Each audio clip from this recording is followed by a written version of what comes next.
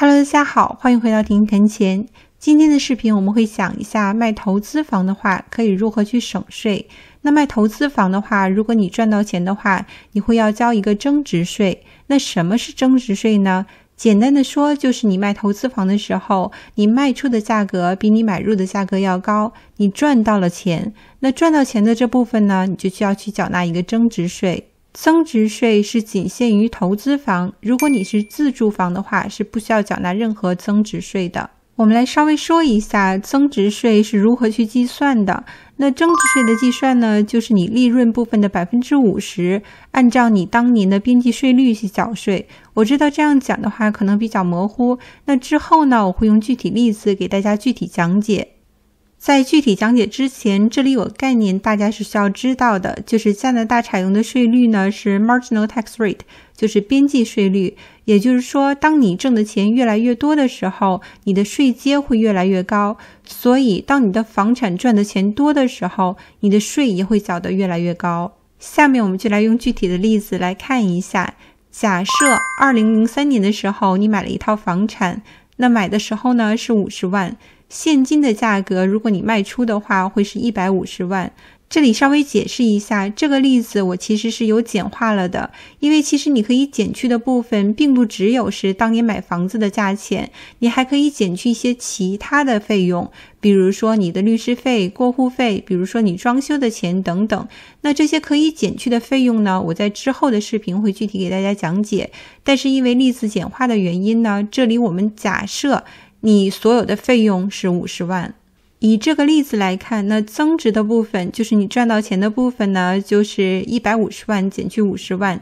就是一百万加币。那假设你当年的薪水是八万块的话，你需要交多少的税呢？以 BC 省和安大略省为例。一百万增值的部分的二分之一就是五十万加币，再加上你八万块的薪水，就是当年收入五十八万加币。那 BC 省呢，你是需要交二十六万三的税；安大略省呢，你是需要交二十六万八的税。这样算下来，从表面上看，好像 BC 省和安大略省的税率还没有达到百分之五十。具体的来看，就是五十八万的收入。B.C 省的平均税率是四十五点三九，而安大略省的税率呢是四十六点三四。但是有一点大家不要忘记了，加拿大的个人所得税所用的税率并不是平均税率，而是边际税率 （marginal tax rate）。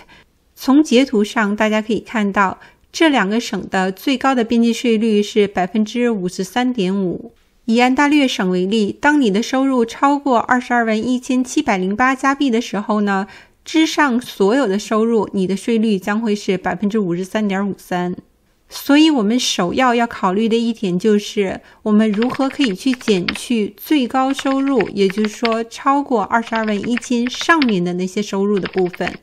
接下来我们要讲的第一个方法呢，就可以解决或是部分解决这个问题。第一点就是，你需要提前去计划如何去善用你的 RSP。那 RSP 有一个非常重要的特性，大家一定要知道，就是 RSP 是可以抵消你最高收入的部分。存入一块钱的 RSP 就可以抵消你最高收入部分的一块钱，不用去缴税。那么我们把它放大，假如你存入十万块的 RSP，那你最高收入的十万块就不用去缴税。以安大略省为例，十万块的 RSP 呢，可以帮你省去五万三千五百块加币的税，就是十万块的收入乘以它最高的边际税率百分之五十三点五，就等于五万三千五百块加币。我们来稍微说一下 RSP 的 contribution limit，就是它的限额。那以二零二三年为例呢，你可以存入最大的 RSP 的限额是三万七百八十块加币。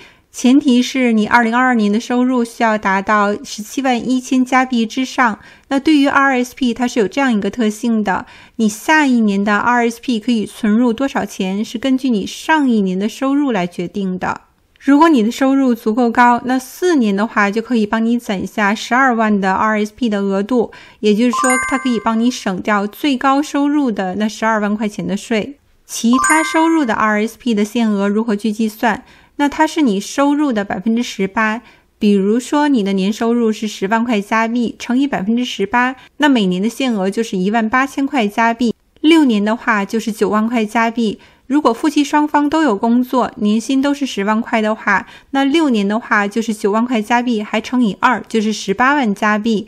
如果你的投资房是在夫妻双方的名下，并不是在一个人的名下，那这种情况下呢，夫妻双方的十八万加币的 RSP 都是可以使用的。这种情况下，我们还是以安省为例，你是可以省掉九万六千三百块加币的税的，就是用十八万乘以最高的边际税率百分之五十三点五，就等于九万六千三百块加币。接下来，我们来稍微说一下如何把你所有的 RSP 的 contribution limit 都攒到一年来用，就是你卖房子的那一年来用。那一共有两种方法。第一种方法，它是源于 RSP 的规定，RSP 是允许 carry forward，也就是说，你可以积累 RSP 的额度。如果你之前一直都没有存入 RSP 的话，那你之前一年的额度就会自动积累到下一年，以此类推。如果你积累个几年的话，你的额度就会不停的增长。第二种方法呢，是你可以每年照常的存入 RSP，但是你不要用它去抵扣你当年的收入。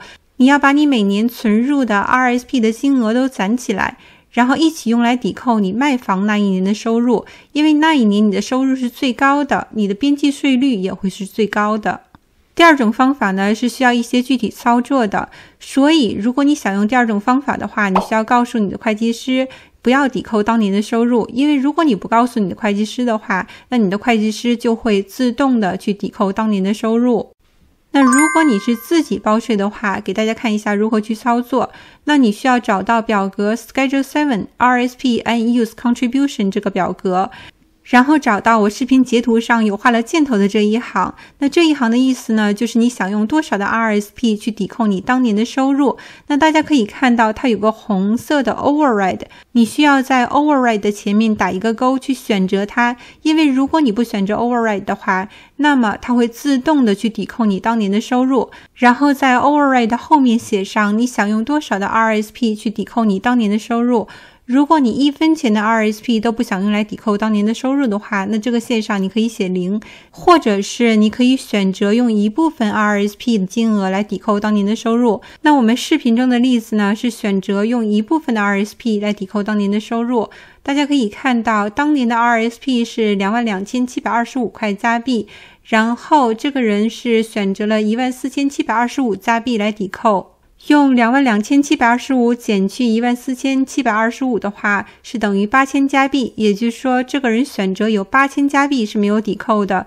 这八千加币是可以用来抵扣以后的收入的。那当你收到 NOA 的时候呢，就是 Notice of Assessment 的时候呢，你可以看一下 Unused RSP Contribution 的那一行，这一行就会显示你 Unused RSP。那我们之前是有八千加币没有选择抵扣，所以在 NOA 上你可以看到八千加币的。unused RSP 用这种方法积累 unused RSP 的时候，你需要每年报税的时候都这样操作，直到你用 RSP 的那一年，这样你才可以把所有的 unused RSP 积累到一起，然后在你卖房的那一年去使用。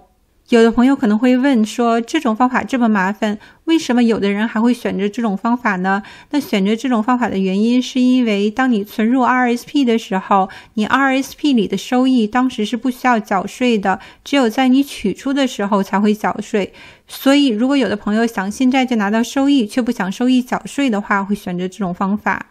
这里有一点我想和大家重复强调一下，就是税务呢，其实是需要你提前去计划的。而不是说在事情发生之后才想去怎么样去节省税，也就是说，当你卖完房你才想去怎么去省税的时候，就已经晚了。所以，如果你真的想省税的话，那你一定要提前知道你的房子大概的收益会是多少，然后你需要攒多少年的 RSP，是两个人都攒 RSP，还是一个人就足够了？这些都是你要提前去计划好的。关于 RSP，有些朋友可能还会问一个问题，就是。那这样操作的话，RSP 会不会影响我的退休金和其他的退休福利？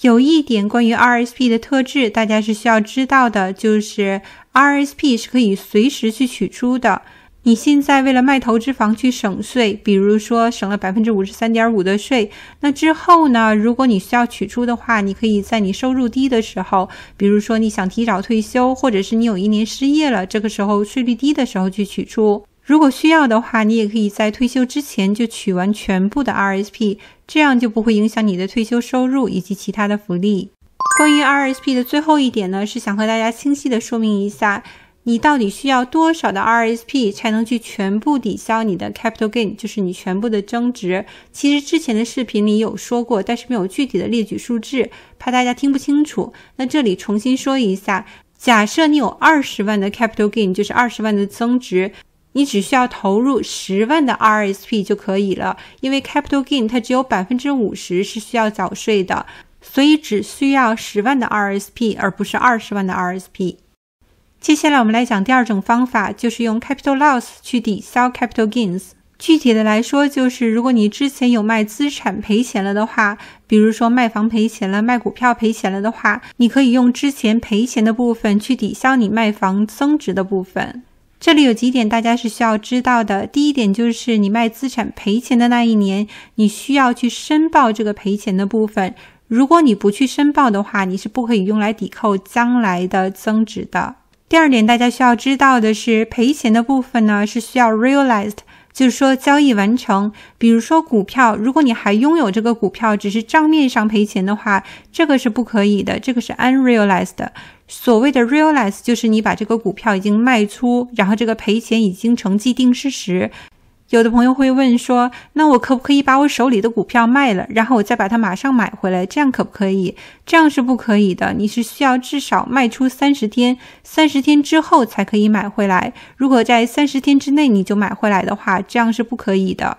像现在的大环境下，股票是下行。如果你觉得你的股票在近期不会涨回来，那你也可以考虑把它卖掉。然后，如果需要的话，你还想再买回来的话，你也可以三十天之后再把它买进来。这个是需要你自己去考虑、自己去做决定的。有些朋友可能会问这样一个问题，就是我把我的股票卖掉，然后三十天之内呢，我自己是不买回来的，我让我的老公或者我的老婆买回来，这样可不可以？这样也是不可以的。三十天之内，无论是你自己的账户还是你配偶的账户，都是不允许买入你刚卖出的这只股票的，不然的话就不会被视为 capital loss。capital loss 还有一个特质就是，如果你当年没有 capital gains 没有增值的话，那也是没关系的。因为它可以用来抵消过去三年的增值以及以后所有时间的增值。第三点，我们一定要清楚的知道什么是可以用来抵消 capital gains 的，就是抵消增值的，一定不要落掉其中的任何一项。首先，买房子的时候，purchase price 就是买房子的价格，legal fees 律师费，land transfer tax 就是转户的费用和其他的 closing cost。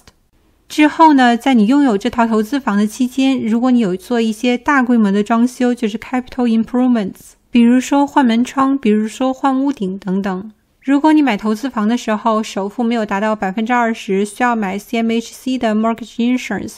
并且这个 mortgage insurance 呢，你以前没有在你的 rental income 中去减去的话，具体的来说就是 mortgage insurance 它其实是一个 finance charge，可以分五年来抵扣你的 rental income，就是你的租金收入。如果你从来都没有抵扣你的租金收入的话，那么这个 CMHC 的 mortgage insurance 在你卖房子的时候呢，就可以用来当做费用，用来在你的 profit，就是在你的收益里减去。好，那我们来看一下卖房子的时候有哪些项目可以用来抵扣。那第一个呢，就是 sales commission，就是你的 realtor，你的经纪所拿到的这个佣金，佣金还包括他的 HST。有些朋友可能不知道，当你的房产经纪帮你卖房子的时候，比如说他收你百分之五的佣金，这个百分之五的佣金呢，在之上还要加一个额外的 HST，所以在你抵扣的时候，千万不要忘了也要包括这个 HST 进去，因为这也算作你的费用。第二个，卖房子时候所产生的律师费 （legal fees），mortgage penalty 就是你提前卖房，银行收你的罚款，还有其他的一些卖房子所产生的费用。比如说，你需要修理一些东西，或者说你需要装修一些东西，然后再卖房子，那这些呢也是算作费用的。接下来的一点是比较特殊的一点，它只适用于你房产的用途发生改变的这种情况下。这一点分两种情况，那第一种情况就是从自住房变为出租房，自住房变为出租房，你可以使用四十五二 election，这样的话，你可以将未来的四年。仍指定为自住房，就是说你可以免掉四年的增值税。第二种情况是出租房变回自住房，那这种情况下呢，你可以用四十五三 election。这样做的话，可以把过去四年出租的时间指定为自住房，这样的话，你也可以省掉四年的增值税。无论是四十五二 election 还是四十五三 election，它都有自己的几个限制条件。第一个限制条件呢，就是你的房产从来都没有申报过折旧，就是 CCA。第二点就是它的变更的条件是需要整套的房产变更，不可以是其中的一部分，比如说其中的几个房间来变更它的用途，这样是不可以的。如果你的房子用途发生了改变，你是需要去通知你的会计师的，这样你的会计师才会帮你去申报四十五二或者四十五三 election。如果你不主动去告诉你的会计师的话，他是不知道的，所以也不会帮你去申报四十五二或者四十五三 election。最后一点，如果你卖房子的这一年恰巧你的收入也比较低的话，那也是可以帮你省掉一些税的。那今天的视频呢，我们就讲到这里了。如果你喜欢我的视频，记得要帮我点个赞。如果你还没有订阅我的频道的话，也欢迎你来订阅我的频道。那我们今天就讲到这里，我们下期再见，拜拜。